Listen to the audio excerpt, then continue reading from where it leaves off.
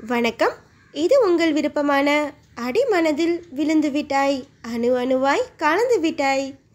Episode number three part ஐ நீடா காய்கிறது. வாங்க கதைக்குள்ளே போகலாம். பாட்டிமா வீட்டில் ஆதி ஷாம் சிந்து எல்லோரும் சாப்பிட்டு முடிஞ்ச பிறகும் கூட பார்வதி வெளியவே வரல. ஆதிக்கோ அவளை பார்க்கணும் போலவே இருந்தது. ஆனால் எப்படி அவளை கூப்பிடுறதுன்னு தெரியாமல் அமைதியாகவே இருந்தார். எல்லோரும் கிளம்ப தயாராகிறாங்க. பாட்டி அவங்க கிட்ட உங்ககிட்டலாம் இவ்வளவு நேரம் நல்லா தானப்பா இந்த பொண்ணு பேசிட்டு இருந்தா? இப்போ என்னாச்சு இந்த பொண்ணுக்கு? ரூம்குள்ளே அடைஞ்சு கிடக்குறா? கிளம்புறவங்கள வழி அனுப்பி வைக்க கூட வெளியே வர மாட்டேங்கிறாளே இவ அப்படின்னு சொல்லி புலம்ப ஷாம் பாட்டிக்கிட்ட இருக்கட்டும் பாட்டி. நீங்கள் ரொம்ப டயர்டாக தெரியுறீங்க பாருங்க. முதல்ல நீங்கள் வந்து படுங்க. நாங்கள் கதவை சாத்திட்டு போகிறோம் பார்வதி அப்புறமா வந்து பூட்டிக்குவா நாங்கள் கிளம்புறோம் பாட்டி.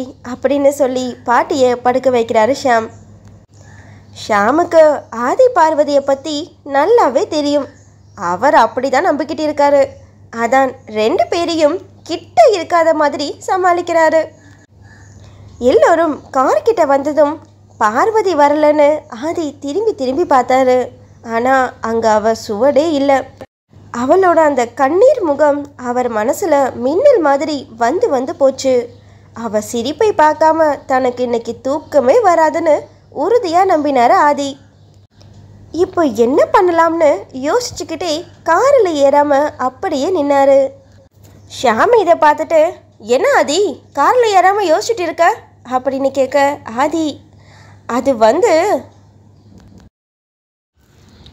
ஷாம் இப்படி சட்டுன்னு கேட்டுடவும் அதுக்கு என்ன சொல்லி சமாளிக்கிறதுன்னு ஒன்றுமே தெரியல. வார்த்தையை தேடிக்கிட்டு இருந்தார் அவர். அந்த சமயம் பார்த்து கரெக்டாக ஒரு கால் வந்து அவரை காப்பாத்திடுச்சு. ஆதி ஃபோனை பார்த்துக்கிட்டே ஷாம் இது முக்கியமான கால். நான் உடனே அட்டன் பண்ணணும். நீ சிந்துவை அழைச்சிட்டு வண்டியில் கிளம்பு. வீடு பக்கத்தில் தானே இருக்குது நான் நடந்தே வந்துடுறேன். அப்படின்னு சொல்கிறாரு இதை கேட்ட ஷாம் ரொம்ப சந்தேகமா ஆதியை பார்க்க ஆதியோ அதை கவனிக்காத மாதிரி ஃபோன் அட்டன் செஞ்சு சீரியஸாக பேச ஆரம்பிச்சிட்டாரு. ஷாமும் வேற வழி இல்லாமல் ஆதியை அங்கேயே விட்டுட்டு சிந்துவை கூட்டிட்டு காரில் கிளம்பிட்டாரு. கார் கிளம்புற சத்தம் கேட்டு அவசர அவசரமாக வெளியே ஓடி வந்தா பார்வதி. ம் அவ கஷ்டம் அவளுக்கு. ஆதி கார்ல ஏறும்போது தூரத்துல இருந்தாவது அவரை பார்க்கலாம்னு நினைச்சு ரூமை விட்டு கிளம்பினா பார்வதி. ஆனா பாட்டி அவளை கூப்பிட்டு வேலை வச்சுட்டாங்க. அந்த வேலையை அவசர அவசரமா அறகுறையா செஞ்சுட்டு கதவை திறக்க போகும்போது தான் கார் கிளம்பின சத்தம் கேட்டது அவளுக்கு. ரொம்பவே டிசப்பாயின்மெண்ட்டோட கதவை திறந்தவளுக்கு கார் போகிறதை பார்த்ததும் மனசு ரொம்பவே கஷ்டமாகிடுச்சு. அங்கே ஃபோன் பேசிகிட்டு இருந்த ஆதியோ இதை எல்லாத்தையும் பார்த்து சிரிச்சுக்கிட்டு இருந்தாரு. கொஞ்சம் அவ கூட விளையாடலாம்னு யோசிச்சு காலை கட் பண்ணிட்டு வராத ஃபோன் காலை பேசிட்டு இருக்க மாதிரி சத்தமாக பேசிக்கிட்டே கார்டன்ல இருந்து வந்தாரு ஆதி.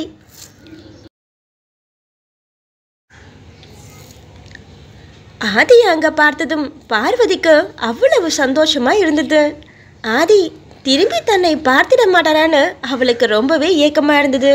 ஆனால் ஆதியோ ஃபோன் பேசிக்கிட்டே கேட்டை ஓப்பன் பண்ணி அவர் பாட்டுக்கு அவளை திரும்பி கூட பார்க்காம வெளியே போயிட்டாரு. பார்வதி முகமோ காத்து போன பலூன் மாதிரி சர்ன்னு சுருங்கிடுச்சு அவளுக்கு கண்ணும் கலங்க ஆரம்பிச்சிருச்சு. அதுவரை ஆதி கூட சண்டை போட்டதெல்லாம் மறந்திருந்தவளுக்கு இப்போ அது எல்லாம் ஞாபகத்துக்கு வந்தது. அவரை அரைஞ்ச கையை பார்த்தவ டேபிளில் ஃபோர்ஸாக அடிச்சுக்கிட்டதால அவளோட கை ரத்தம் கட்டியிருக்கிறத பார்க்குறா பார்வதி மனசுக்குள்ள ம் உனக்கு இது பத்தாது. உன்னை இப்போ நான் என்ன பண்ணுறேன் பாரு அப்படின்னு கோபமாக நினச்சிக்கிட்டே உள்ளே போக பார்த்தா. அப்போ அவளை தடுத்தது ஒரு குரல். ஓய் சோடா புட்டி. அந்த குரலை கேட்டதும் பார்வதியோட முகம் சந்தோஷத்தில் சட்டுன்னு மலர்ந்தது. இதோட ப்ரோமோவும் இனிதே நிறைவடைந்தது. ஆனாலும் தன்னோட மலர்ந்த முகத்தை மறைச்சிக்கிட்டு போலியா முகத்தில் முறை போட ஆதியை திரும்பி பார்த்தா பார்வதி. பாரு ஆதியை திரும்பி பார்க்க ஆதி ஒரு சிரிப்போட சத்தமே வராம தேங்க்ஸ் சொல்லிட்டு காதில் கை வச்சு க்யூட்டாக சாரியும் சொல்கிறாரு அதை பார்த்ததும் பார்வதிக்கு பன்னெண்டு வயசில் ஆதி இந்த மாதிரி அவர்கிட்ட சாரியும் தேங்க்ஸும் சொன்னது ஞாபகத்துக்கு வந்தது. அந்த ஞாபகங்கள் அவளுடைய முகத்தை இன்னும் நல்லாவே மலர வச்சது. அதை மறைக்கணும்னு அவளுக்கு தோணலை. ஏன்னா இதுக்காகத்தானே இத்தனை வருஷம் காத்துக்கிட்டு இருந்தா?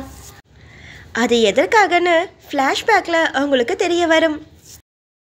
ஆதியோட சத்தமில்லாத அந்த ஒற்றை சாரியும் தேங்க்ஸும் இத்தனை வருஷம் பார்வதியோட மனசை அழுத்திக்கிட்டு இருந்த பாரத்தை எல்லாம் சட்டுன்னு லேசாக்கி சுத்தமாக அதை மறக்கடிக்கவும் செஞ்சிருச்சு அது நல்லாவே அவ முகத்திலையும் பிரதிபலிச்சுது. பார்வதியோட முகத்தில் சிரிப்பை பார்த்ததும் ஆதி முகமும் கூடுதலாக மலர்ந்தது. ஒரு சேஃபான டிஸ்டன்ஸில் வந்து நின்றுக்கிட்டாரு ஆதி பார்வதி நகராம அங்கேயே நின்றுட்டு இருந்தா ஆதி பேச ஆரம்பிக்கிறாரு. அன்னைக்கும் சரி இன்னைக்கும் சரி. நான் அப்படி உன்கிட்ட பேசியிருக்க கூடாது. ரியலி சாரி இனி அப்படி பேச மாட்டேன். அப்படின்னு சொல்ல பாரு சிரிக்கிறான். அப்புறம் நீ எந்த தப்பும் பண்ணல. அவளோட கையை பார்த்துக்கிட்டே சொல்கிறாரு தேவையில்லாமல் உன்னை ஹர்ட் பண்ணிக்க நினைக்காத. பார்வதியோ சட்டுன்னு கையை மறைச்சிக்கிறா. இப்படிலாம் பண்ணால் அது என்னை ரொம்ப ஹர்ட் பண்ணும். புரியுதா? பாரு இதை கேட்டு அழகா புரியுதுன்ற மாதிரி தலையாடுறா. ஆதி அப்போது நான் கிளம்பட்டா? அப்படின்னு கேட்க பாரு அப்பவும் நல்லா பூம் பூம் மாடு மாதிரி தலையாடுறா. பார்வதியோட குரலை கேட்க முடியலையேன்னு ஆதி கொஞ்சம் அப்செட் ஆயிட்டாரு தான். ஆனாலும் அதை காட்டிக்காம அவர் கேட்டை திறந்து போக பார்த்தாரு. அப்போ பாருவோட குரலை கேட்க முடியாம ஆதி வருத்தத்தோட போக. அப்போ பார்வதி அவருக்கு மட்டுமே கேட்குற அளவுக்கு ராஜேஸ்வரி ஸ்கேரி நைட் நல்லா தூங்குங்க. பாரு சொல்கிறத கேட்ட ஆதிக்கும் முகம் முழுக்க பிரைட்டாக ஆகிடுச்சு. அவரும் சிரிச்சுக்கிட்டே ம் கதவை நல்லா போட்டுக்கிட்டு நீயும் நல்லா தூங்கு சோடா புட்டி. டெவில் நைட் அப்புறம் நீ என்னோட சாரி அக்செப்ட் பண்ணிக்கிட்டேன்னா என்னோட கிஃப்டையும் எப்பவும் போல் அக்செப்ட் பண்ணிக்கோ. சரியா? இப்படி சொல்லிட்டு பார்வதிக்கு வெளியே இருந்த சேரை கண் காட்டினார் ஆதி. சேரில் தன்னோட கிஃப்டை பார்த்த பார்வதிக்கு ரொம்பவே சந்தோஷமாகிடுச்சு. பார்வதியோட ஸ்மைல் பெருசாக்கிட்டே போக ஆதியோட மனசும் லேசாக்கிட்டே இருந்தது. பார்வதியும் அந்த சேரில் இருந்த தன்னோட கிஃப்டை எடுத்து மெல்லமாக தடவி கொடுத்தா. அது வேற ஒன்றும் இல்லைங்க. நம்ம பார்வதியோட ஃபேவரட் செம்பருத்தி பூ தான் இந்த செம்பருத்தி பூவை வச்சு அவங்களுக்குள்ள சொல்லப்படாத பெரிய ஒரு கதையே இருக்கு. அதையெல்லாம் ஃப்ளாஷ்பேக்கில் நம்ம பொறுமையாக பார்க்கலாம். இப்போ ஆதி பார்வதிக்கு வருவோம். ஆதி கையசைச்சு பாய்னு சொல்லிட்டு ஒரு மனநிறைவோட விசில் அடிச்சுக்கிட்டே உற்சாகமாக வீட்டுக்கு கிளம்பி போகிறாரு பார்வதிக்கு அப்படியே ஒரு குத்தாட்டம் போடணும் போல இருந்தது. சில வருஷங்கள் கழிச்சு இன்னைக்கு தான் மேடம் இவ்வளவு சந்தோஷமாக இருக்காங்க. அதான் அவளுக்கு அப்படியே ஒரு குத்தாட்டம் போடணும் போல இருந்தது. பார்வதிக்கு தன்னோட மனசு என்ன நினைக்குது? அவ ஏன் இப்படி இருக்கா? அப்படின்னு இது எதுவுமே அவளுக்கே தெரியல. என்னது? இன்னும் தெரியலையா? ஆனால் இந்த ஃபீல் அவளுக்கு ரொம்பவே பிடிச்சிருந்தது. ஆதியோ வீட்டுக்கு போனதும் படுத்துட்டாரு. படுத்ததும் அவருக்கு தூக்கமும் வந்துடுச்சு. நிம்மதியான மனுஷனுக்கு நல்லா தூக்கம் வரும் தானே? ஆனால் பார்வதிக்கோ இங்கே தூக்கமே வரல. அவளோட கற்பனை உலகத்தில் தன்னோட நண்பனான பெரிய மாமா கிட்ட அன்னைக்கு நடந்த விஷயங்கள் எல்லாத்தையும் சொல்லி சந்தோஷமாக ஷேர் பண்ணிக்கிட்டா.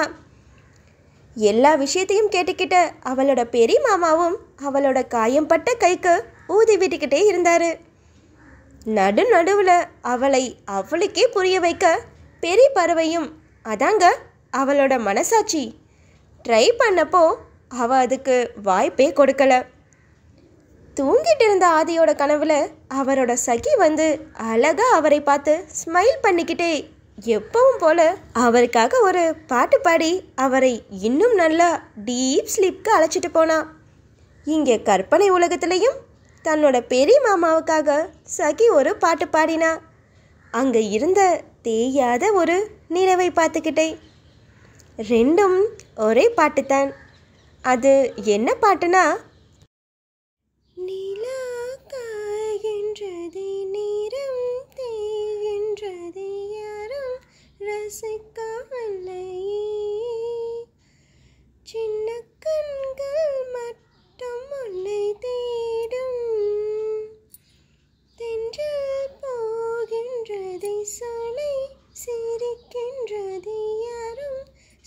சூகிக்கவில்லையே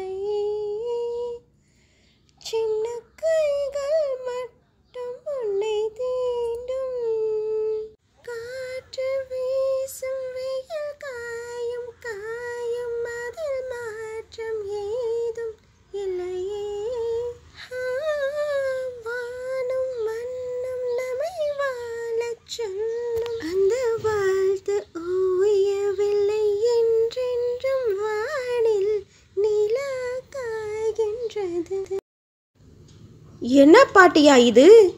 இவங்க இப்படி சின்ன பிள்ளைத்தனமாகவே இருந்தா? நான் எப்படி இவங்களுக்கு கல்யாணம் பண்ணி வைக்கிறது? ம் இதை எழுதுறவன் பாடு. பாவம்தான். இங்கே ஆதி பார்வதி தான் இது போல சின்ன பிள்ளைத்தனமாக இருக்காங்கன்னா இன்னொரு பக்கம் இந்த ஷாமும் சின்ன பிள்ளை மாதிரி தான் கண்ணை தேய்ச்சி அழுதுகிட்டு இருக்கான். பின்ன விருந்து சாப்பாடு சாப்பிட்டுட்டு சொர்க்கமாக கண்ணில் தூக்கம் சொர்க்க பெட்டில் படுத்தவனை எழுப்பி ஃப்ளாஷ்பேக் சொல்லிட்டு தான் தூங்கணும்னு அவரை பிடிச்சு உலுக்கினா அவரும் என்ன தான் பண்ணுவார்? பாவம். அவர் எழனதும் சிந்து ஒரு மகு நிறைய தண்ணீரை எடுத்து அவர் மேலே ஊற்றி அவர் தூக்கத்தை கலைச்சு இப்போ அவர்கிட்ட ஃப்ளாஷ்பேக் கேட்டுட்டு இருக்காங்கிறது தான் வரலாறு. ஆமாம் ஷாம் ஃப்ளாஷ்பேக்கை ஆரம்பிச்சிட்டாரு. அவர் முதல்ல ஆதி பார்வதியோட அட்வென்ச்சரஸ் ஃபாரஸ்ட் மீட்டிங்கை பற்றி சொல்கிறாரு ம் நமக்கு தான் அந்த மீட்டிங்கை பற்றி நல்லா தெரியுமே. காடு பெரிய பறவை. நம்ம ஆதி கூட மாமா முறை சீர் செஞ்சாரே.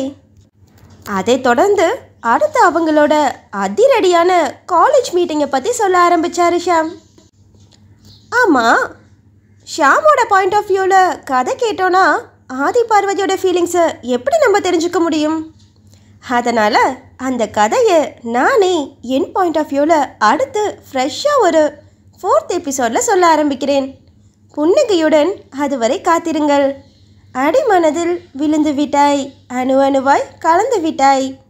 இந்த கதையை நீங்கள் தொடர்ந்து படிக்கவும் மேலும் இது போன்ற சுவாரஸ்யமான கதைகள் மற்றும் கவிதைகள் படிக்கவும் ஏபி டெல் டைம் யூடியூப் சேனலை சப்ஸ்கிரைப் பண்ணுங்கள் நன்றி வணக்கம்.